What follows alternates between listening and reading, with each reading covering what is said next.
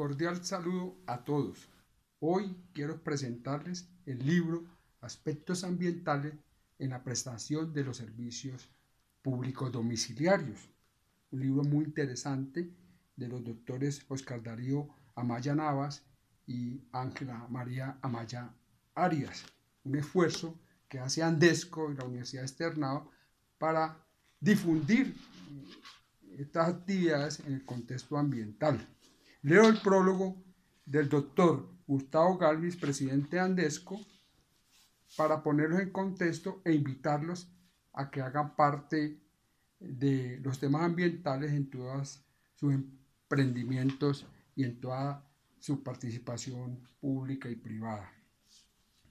Los Objetivos de Desarrollo Sostenibles, ODS, promulgados en septiembre del 2015 por las Naciones Unidas, han definido la agenda de desarrollo global a partir del concepto de sostenibilidad, bajo la premisa del equilibrio entre, entre el desarrollo económico, la inclusión social y el uso, uso racional de los recursos naturales.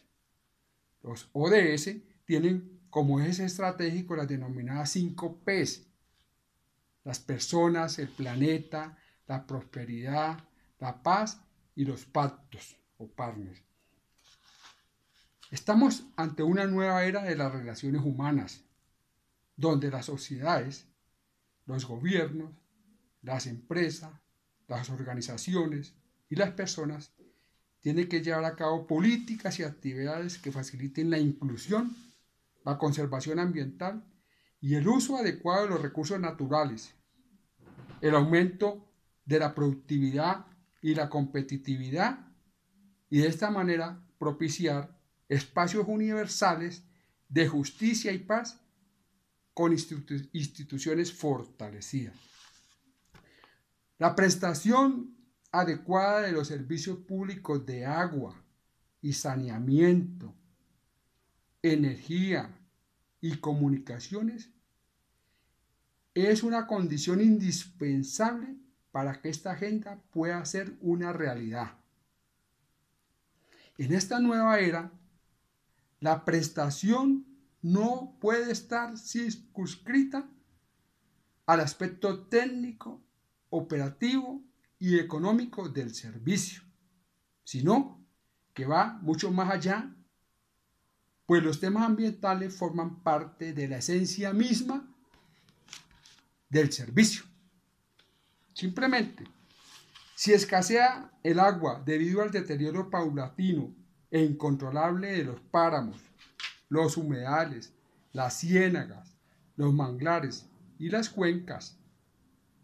Si hay vertimientos descontrolados que contaminan los cuerpos hídricos y los suelos, si para generar energía se producen emisiones atmosféricas fuera de las normas, si la producción de energía es ineficiente y se maneja inadecuadamente la combustión, si las redes de tecnología y comunicaciones no facilitan la operación y el mantenimiento de las redes.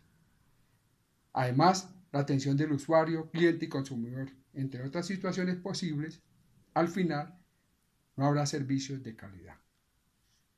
Mi invitación es a reflexionar sobre los aspectos ambientales en la prestación de los servicios públicos, especialmente servicio público de acueducto, de agua, de potabilización de agua, el, todo el tema del saneamiento, todo el, el tema de las plantas de tratamiento de aguas servidas, todo el tema de los escombros, las basuras o los residuos urbanos y todo el, el tema de los llamados o mal llamados rellenos sanitarios. Cordial saludo, los invito a leer el texto. Es un esfuerzo que hace Andesco y la Universidad Externado para estos temas y los invito obviamente a suscribirse a mi canal. Muchas gracias, cordial saludo.